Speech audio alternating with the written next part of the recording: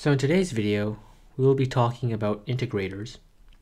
And this is an upgrade of my previous video about ideal op amps and all my other op amp videos.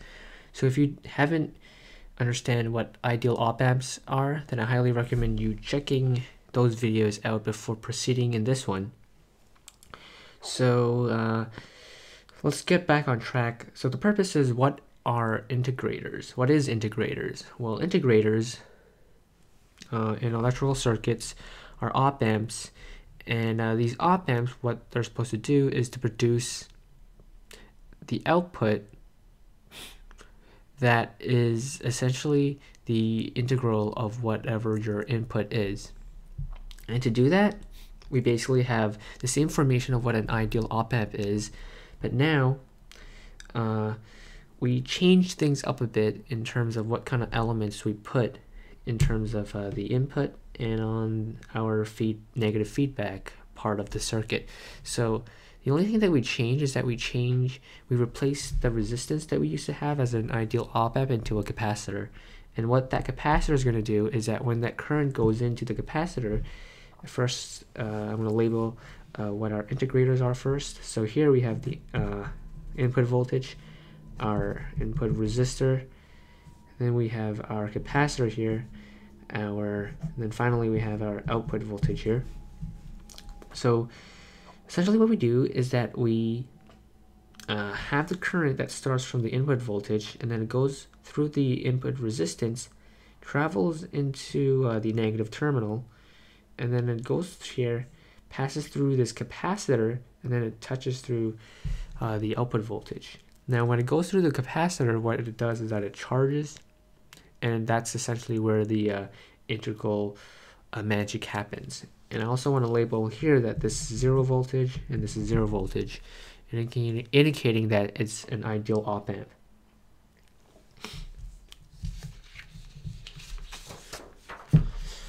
So here are the equations for a uh, integrator. So this VC is basically, I'm gonna go back here.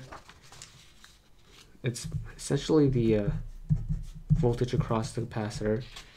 So we have that as uh, the lowercase c. We have a capital VC here, and that's essentially the capacitance voltage at time zero or initial. And after time zero, uh, you know, current's going to go through the capacitor and that current's going to build up and that current's going to build up uh, causing the uh, the integral to happen.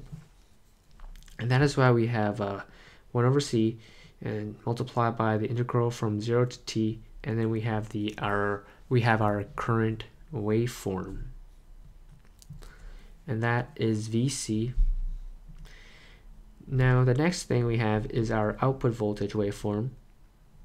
And our output, output voltage waveform consists of uh, the inverting component of it, and that's why we have that negative. It's an inverting integrator because uh, our negative feedback is connected to the negative sign of the op amp. So basically, we have uh, our output voltage we have our integral time constant, 1 over CR. And finally, we have our integral of our input voltage. That's what it is. Finally, we have our uh, voltage across the capacitance. We subtract that. And that would basically be what our output voltage uh, over time is going to be. And finally, our gain of our uh, op amp is basically going to be the inverting sign of it again. So we have that negative sign, divide, and then we have our integral time constant with also uh, um, the term s as part of a Laplace. So those are one of the three main equations of differentiate uh, of a an integrator And finally, let's move on to signals of what kind of you know waveforms or signals are going to be produced in an uh, integrator. So initially, we have our input voltage that is uh, producing a square wave. So just like this T1, T2, T3, T4 for our input voltage. And then basically our output is going to be like this. So essentially the integral of that and as we know that when we whenever we have like a uh, flat line when you integrate that we get a linear slope. And that is why we got we get a linear slope. Uh, in addition as, as you can see when it, when the time is from 0 to t1 0 to t1 our output goes down because from 0 it's at this uh, positive magnitude positive voltage and then once it gets to t1 it goes to negative. So it has to have this downward slope. Now this slope will continue on forever and ever and ever but the only thing that is stopping it is that as we know it's a square wave but also the fact that our power supply.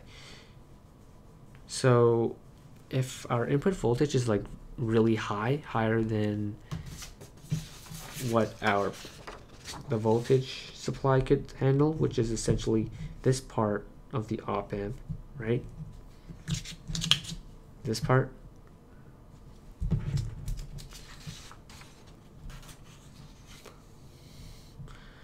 If this is higher, then our output voltage could only reach the point at which how much uh, the op-amp kit supply it to.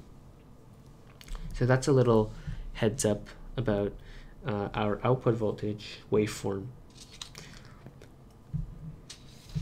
Moving on, so finally we're going to touch upon the frequency response of the integrator.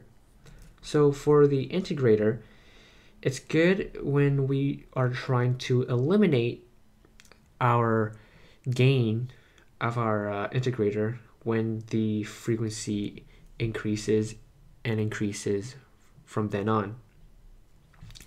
And when and to completely eliminate any gain greater than one, uh, we basically modify what our time, our integral time constant is. So if we modify the values of our capacitance and our resistance, then that frequency that it uh, meets will basically um, decrease our gain, which is here, to the point where there where it's only one. So that is the frequency response of our integrator. And that is it. I hope you guys enjoyed this video, and I will see you in the near future. Thank you for checking out this video. There may be another video that you might also want to see that is the pole reversal of what we just did.